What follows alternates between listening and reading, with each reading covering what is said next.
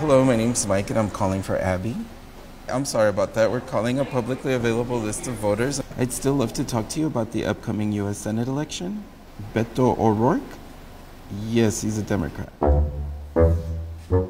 Okay, no problem. Are you voting for Ted Cruz? Hi, is this Matthew? Calling a publicly available list of voters, and there's a lot of incorrect phone numbers. Yeah. My name's Mike, and I'm calling for Laura, calling for Mirela, calling for Sulema, Ivan, Samantha, John. No está bien, estoy buscando a Jesús. Okay, no problem, thank you. Wrong number. I say why I'm supporting him. I'm like, yes, they're actually listening. They might give me an answer. Hello, my name's Mike, and I'm calling for Gerald. We're calling Texas voters to talk about this year's U.S. Senate race and talk to them about Beto. But so close.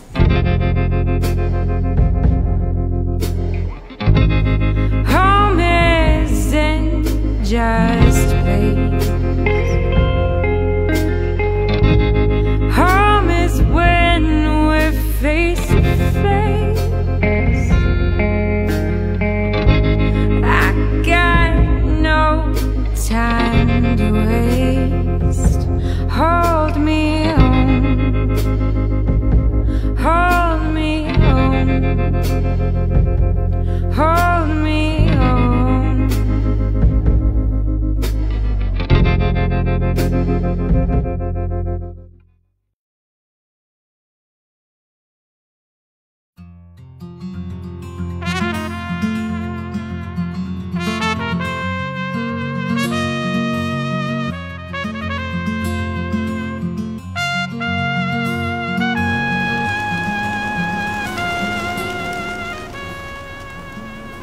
Most Texans have never even been to El Paso. It's so far west, it's in a different time zone. It's like the city that's out at the end of the road once you've driven all day across West Texas. We look very much like any other American city. It has a very deep connection to our sister city, Ciudad Juarez, right across the border. El Paso and Mexico are one region. We share culture, we share language, we share history, we share air, we share water. We really are very much a united region. Beto promoted El Paso in a way that was worthy of who we are. He promoted the border in a way that restored our dignity, dignity that others had tried to strip away. He talked about immigrant communities in a way that celebrated what they do for the country. We should be leading the way in rewriting our immigration laws in our own image to reflect who we are, the advantage and the quality of life that we enjoy here in El Paso, Texas, one of, if not the safest cities in the United States of America.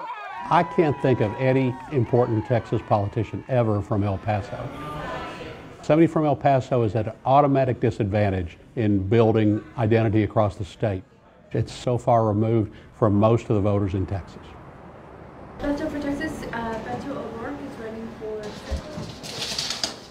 We are running just a huge grassroots operation. Someone's dog is here. Like we're a dog-friendly headquarters campaign for a U.S. Senate race. This Uh, Beto O'Rourke is running against Ted Cruz. We can't keep up with the mail, literally, right now. We can't keep up with the money coming in. We're gonna keep up with the money coming in, but it's really hard. Everyone here in this city has felt the effects of Beto being our congressman. And I think people are getting nervous. They so much care about him winning, and they want to come in and help. I had to pour water on the ground. work. Yeah, that's what I did even with mine. I was nailing mine to the trees because it was so hard to get it in the ground. And this is rock, so Okay. I'm 71 years old. I'm a volunteer for Beto O'Rourke in El Paso, Texas. I've been doing this for a year. I started out, everybody thought I was crazy. November 6th. Oh no, I won't forget that. Good. I will probably if I have to. And now they're all starting to think, yeah, maybe this might happen. we got a good one. The first one we got was good. One of the young people from Austin emailed me and said, Hey, would you do a grassroots office? And I said, Sure. What do I do? I've never done this before in my whole life. I handed out everybody a, a canvassing script. This is the hard work that the Cruz campaign is not willing to do. All right, are we ready? And it is Beto, not Beto. okay. We're going to take Rebecca and Eddie in our car. Poop. Okay. Okay, what does that say? Error loading. There we go. Okay. If we can get enough people to vote, which is a problem, I think we can turn this election into a win for Beto. That's why we're knocking on doors, because we want people to know who he is. You guys back there? Okay. Hopefully somebody's home. Don't despair. He said, go that way. We're actually talking to registered voters who participate. Well, can we just walk this way? I think we're going to go to the next house. Houston has more voters than anywhere else in the state. Harris County is the biggest county. It's a swing county at this point. I'm extremely proud that Senator Ted Cruz went here. It's always been important to him to have a Christian education, and he's gone on to use his moral values in his job. Ted obviously had a bent toward debate and politics. I don't know if you've seen that. I, I have not. Look at that. That is hysterical. You recognize some of those folks? it's a fun time.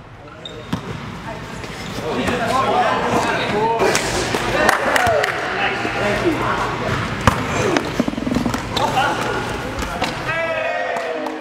I do believe him to be a man of integrity. I've seen that through his life, uh, and I know the father that raised him. And I think there's a, a deep understanding of who they are and what their purpose is. We need all of us as Americans, as leaders, and especially the church to step forward and lead to help bring our communities back together and knit them back together. I was really surprised. The last numbers that I saw broken down by region, Cruz did not have as big an advantage in Houston as I expected. Cruz will try to establish a beachhead in Houston and make that his stronghold. He's going to continue to remind everybody that he was there during Harvey. He's going to try to win back some of those voters.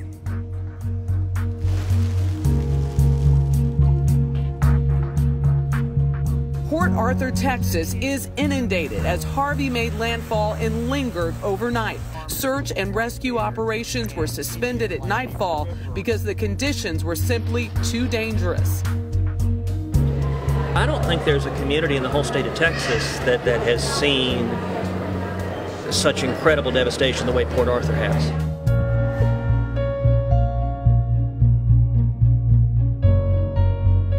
It's a year later, and you ride through Port Arthur, you look at Port Arthur, where the help went.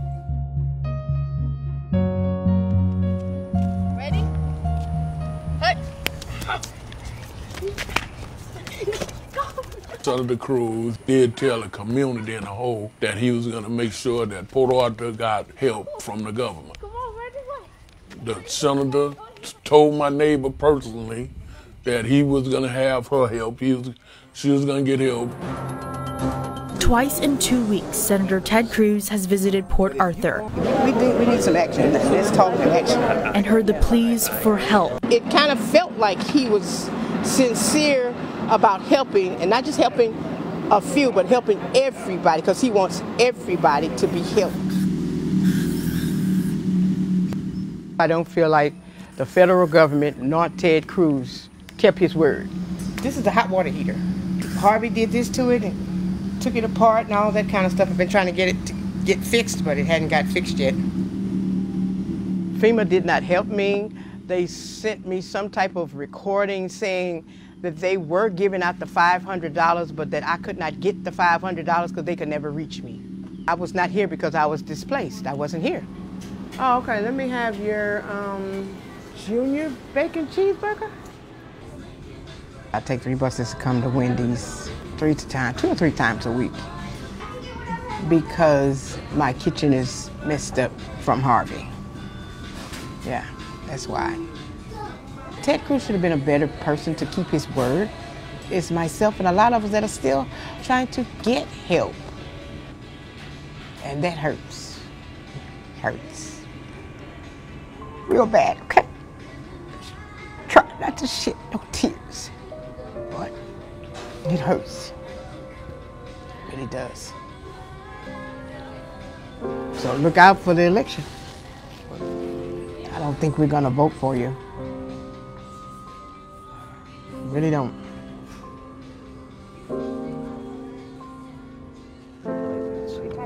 Senator, I, I have one quick question for you. Yeah. I spent some time with people in Port Arthur who you mm-hmm. actually visited with mm-hmm. last year. Yeah.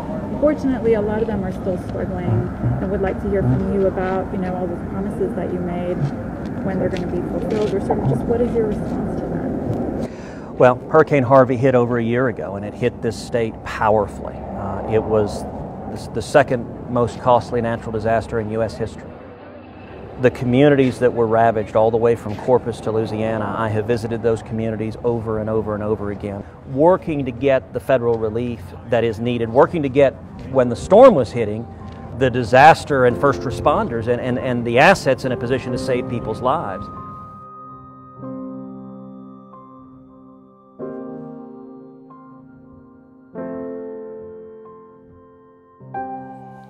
I do not trust half of the politicians of our United States government, our state government, and some of the county government. When they say things, they only say it to get votes.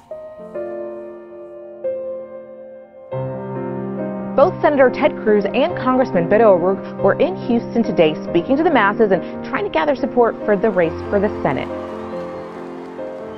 This is a turnout election. That means it's our job. It's our job to keep Texas red. But the danger is too many of us might stay home.